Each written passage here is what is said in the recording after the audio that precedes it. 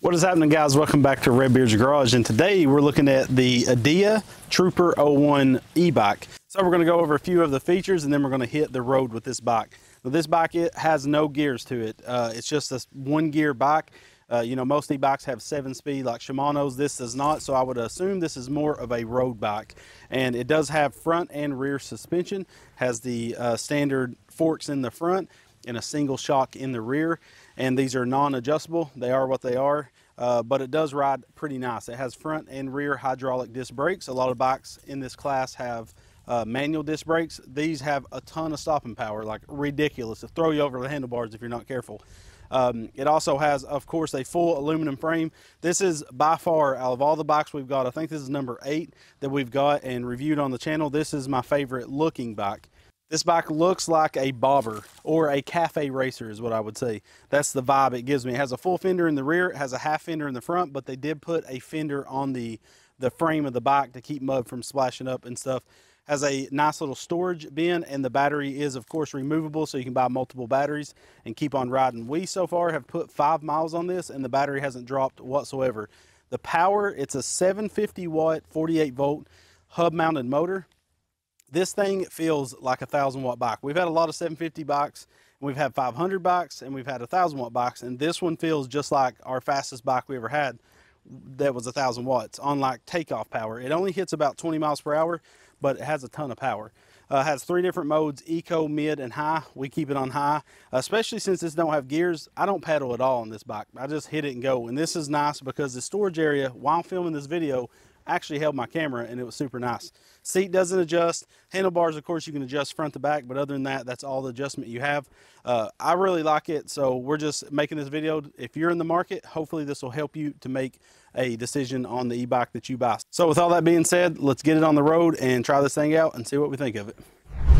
So this is the Trooper 01 electric bike. The thing is actually one of the funner bikes for the wattage that it is you would expect with the wattage that it wouldn't be that stout but but it is for sure. So if we max it out here it holds at 20 miles per hour. You can tell the bike would do quite a bit more but since this isn't a bike with gears you're only going to be able to pedal so fast with it. And 20 miles an hour is what you can pedal or do with the electric assist. Uh, I got it just pinned. I'm not pedaling at all and it'll hold 20 extremely well.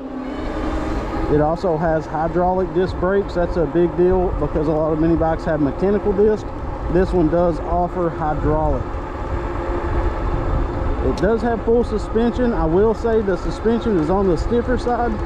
Uh, i'm a bigger guy because so i like it quite a bit being stiff like that but i think someone that's 140 150 it might you know almost feel non existent with him. But it just pulled that hill really well. We dropped about three miles per hour by the top of it but that was a pretty big grade.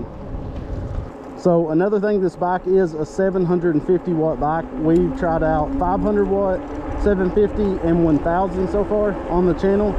And i feel like 750 is the smallest bike i would want to mess with but this 750 in all honesty feels like a thousand watt bike like we've had that 1000 watt bike uh, out of probably the seven or eight bikes that we've had.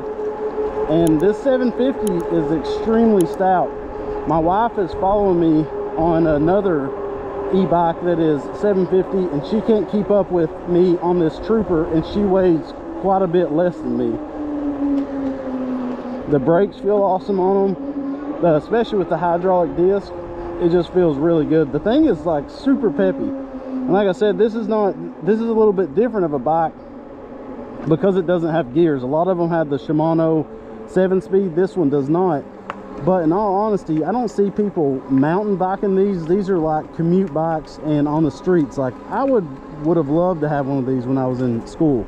You know, I used to walk these streets to my mama's house from school and uh, I would have killed to have one of these bikes.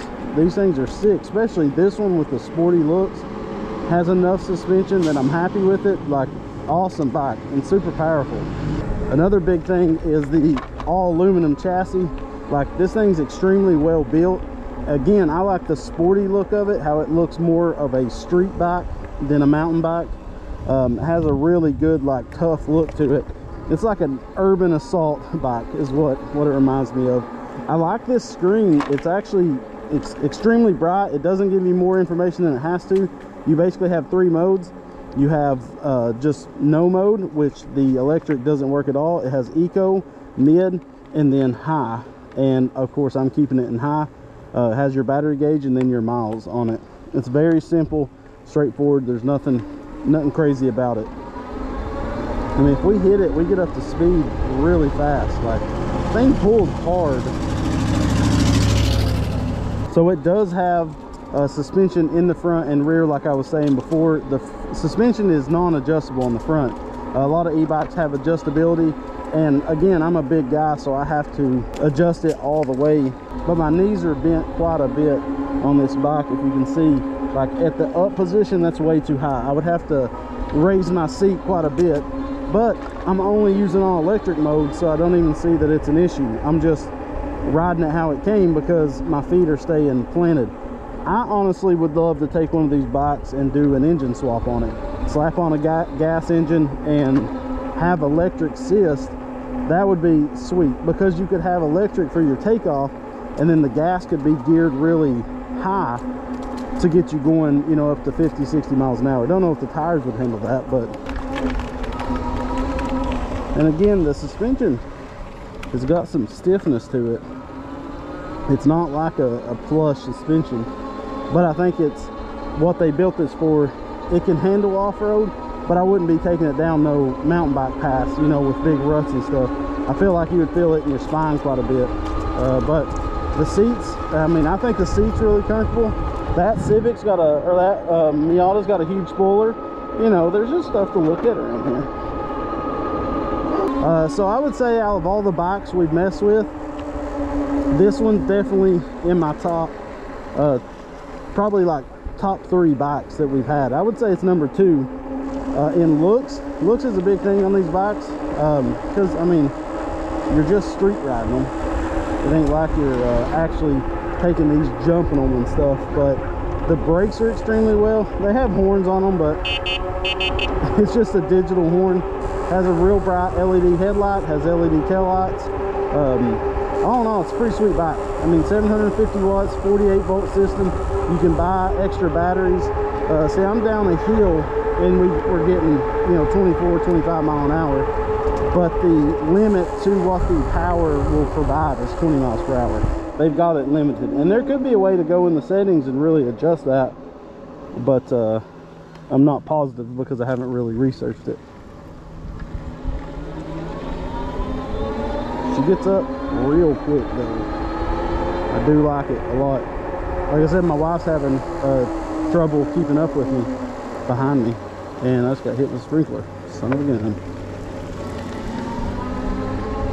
Of course, these are fully waterproof. You can ride in the rain. You're not going to hurt them. I wouldn't leave it out in the rain, but you can ride in the rain. Running into the trash guy again.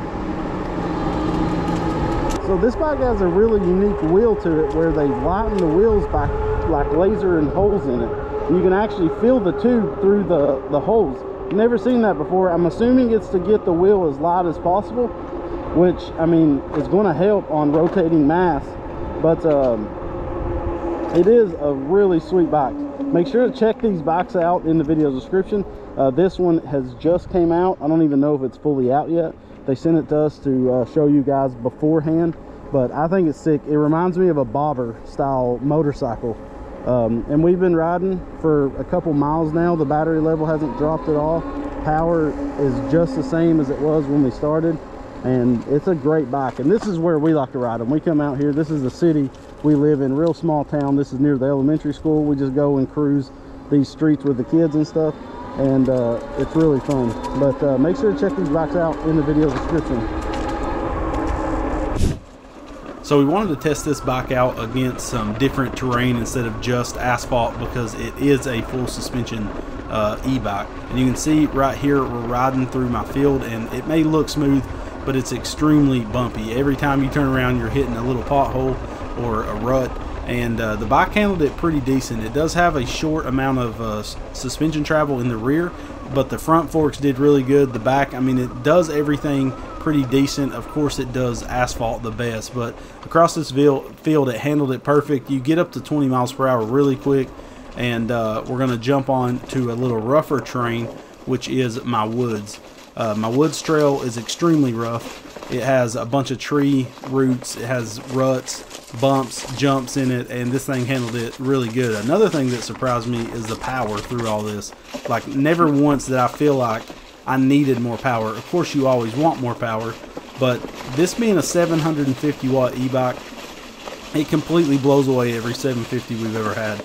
Uh, but it handled the woods extremely well, and then you can see we moved on to gravel which is just our driveway. Pretty smooth for the most part, but we did get a little wheel spin out of it, which is surprising for, you know, just a 750 watt bike. Got up to 20 miles per hour really quick. I know this bike would do 30, 35, and there probably is a way to turn the limiter off, but it gets to the limit real quick. So I would really like to see if you could crank this bike on up and see what it really do. I uh, really think you should check this bike out. This one, like I said, 750 watt, but feels like a 1000 watt bike uh, did a pretty dang good job on the whole build out of this bike. Thank you guys so much for checking out this bike. This is the Yadea Trooper 01. I don't know if it's out right now. It They sent it to us early, of course, but uh, I really like it. If you're in the, in the market for a street e-bike, this is the one I think to check out.